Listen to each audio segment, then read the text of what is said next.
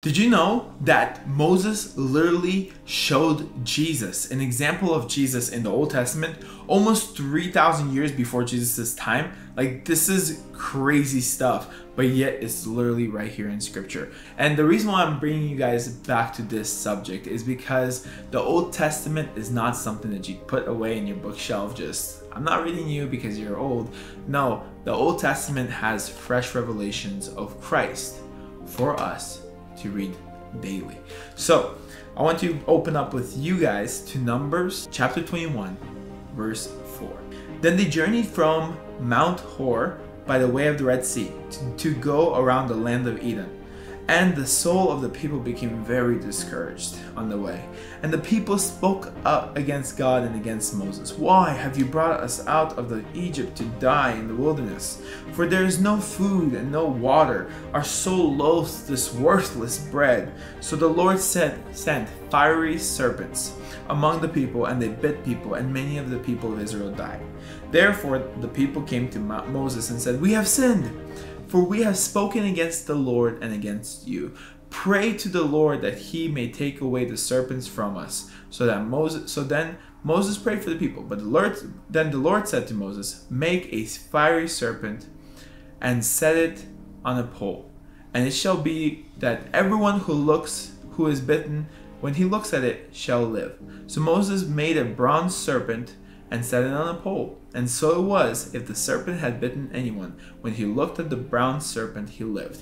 Now, I know that this is just a story about some snakes that were biting Israel because Israel was a people literally with dull heads. Uh, not in a bad connotation, but no matter what God did to them, a few days later or a few months later, they would still be going against what God is saying. And I do not understand how they could be doing this, but this is the story. Now, this is a true representation of Christ because, first of all, something that was biting people was hung onto a tree. And anytime that they looked upon the tree, they saw it and then they received the salvation from the bite that they had.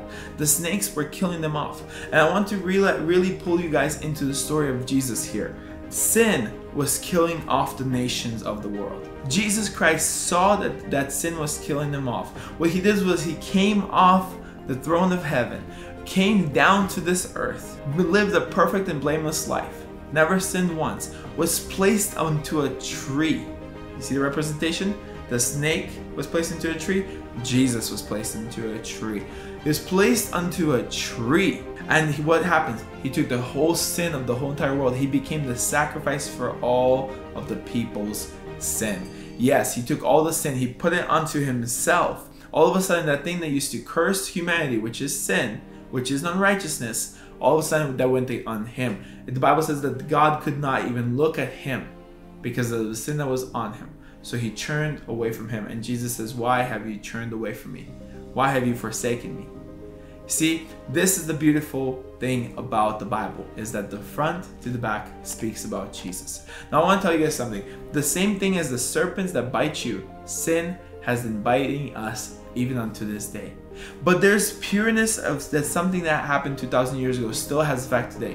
When we look unto the cross of Calvary, as the Israelites had to look unto a tree, whenever we look upon Jesus hanging on the cross of Calvary, that he died for the redemption of our sin, all of a sudden, the sin, the bite, the consequence of the bite of sin, which is death, falls off of us and we are saved but the, between the salvation and it fall and the, and the sin falling off, there has to be something called repentance. You see, the Israelites came to Moses and he, they said, "We have sinned." taking up the ownership and saying, Hey, I have sinned. Moses then made up the bronze serpent, and according to God's word, makes the serpent, places it according to how God said to place it, and all of a sudden, anytime that they look upon the serpent, they're saved. Correlation? I don't think so. The Bible speaks of Jesus in the Old Testament for us to see different aspects of his majesty. Yes, you see, the serpents were biting the Israelites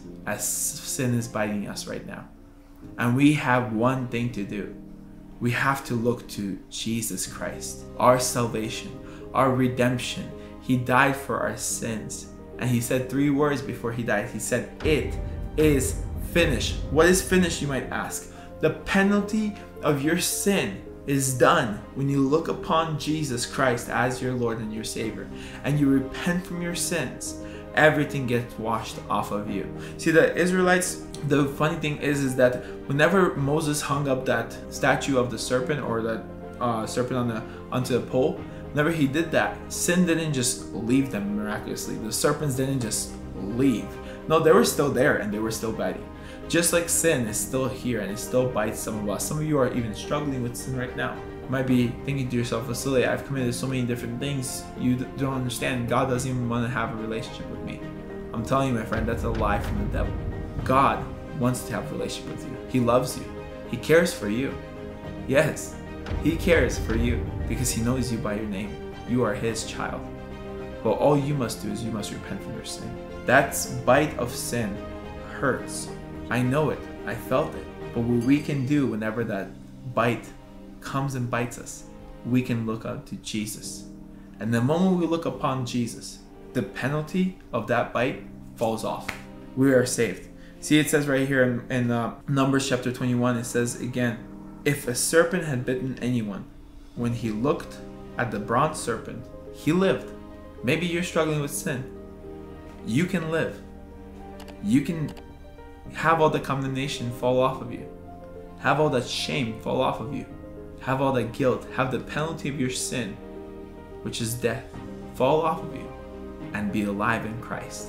If you look upon Jesus, the author and the finisher of your faith. Maybe you're wondering, how might I do that? You can do this right now by saying this with me. Say, Jesus, I need you. Forgive me for my sin. Make me new. Make me whole. Make me perfect. As you are perfect, I believe that you are the Son of God, that you died and you rose on the third day. From this moment on, I am saved. There we go, my friends. Doesn't that feel good to have all that weight just fall off of you? That's the representation of, of Jesus in the Old Testament. I was so excited to share this with you, I had to make this video. If you guys like this type of content, make sure you guys press the like and subscribe button right now, and we will be able to have more of these coming out to you daily. Be blessed.